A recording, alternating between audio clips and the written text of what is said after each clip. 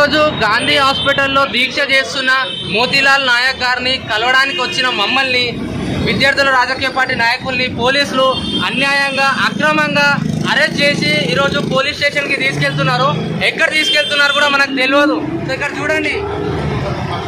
ఇప్పుడు మమ్మల్ని అరెస్ట్ చేసి వీళ్ళు తీసుకెళ్తున్నారు.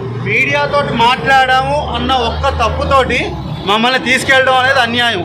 మేము మాట్లాడిన దాంట్లో తప్పు ఉంది అని ప్రూవ్ చేస్తే వాళ్ళు ఎటువంటి శిక్ష వేసినా పర్వాలేదు.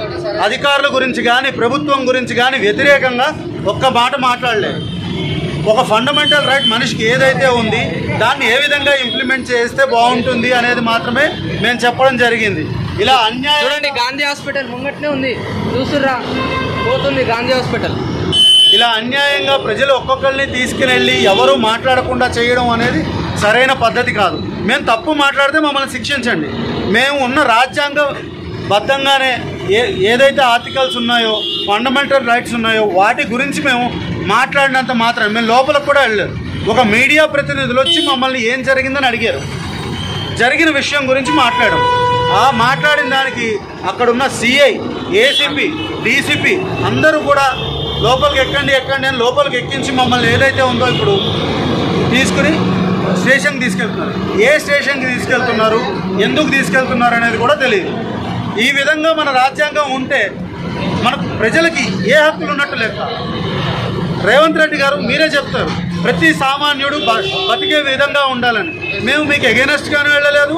అలా అని చెప్పి మేము ఎవరైతే కష్టపడుతున్నారో వాళ్ళని చూస్తూనూ ఊరుకోలేము. మేము వెళ్ళి మాట్లాడింది ఒక పత్రికా విలేకరుతోటి ప్ర- టీవీ ప్రతినిధులతోటి. దీనికి ఇంత మాత్రాన్ని అరెస్ట్ చేయాల్సినంత అవసరం ఉందా? మీరే చెప్పండి. మీ గురించి ఏమైనా తప్పుగా మాట్లాడామా? మా నోట్లోంచి ఒక ప్రొఫానిటీ కానీ ఏమైనా వచ్చిందా? హ్యూమన్ రైట్స్ నుంచి లేకపోతే ఒక అడ్వకేట్ తరఫున కానీ వెళ్ళి ఇలా అడిగితే అరెస్ట్ చేయడం అనేది ఎంతవరకు న్యాయం? ఇది మీరే ఆలోచించి ఈ పోలీస్ అథారిటీస్ని ఎవరైతే తప్పు చేస్తున్నారో వాళ్ళని శిక్షించమని చెప్పండి. తప్పు చేయకుండా మీరు అనవసరంగా ఈ విధంగా శిక్షించడం అనేది పద్ధతి కాదని మేము విన్నవిస్తున్నాం. థ్యాంక్ యూ అండి ఈ వీడియో కానీ మీకు నచ్చినట్టయితే లైక్ చేయండి.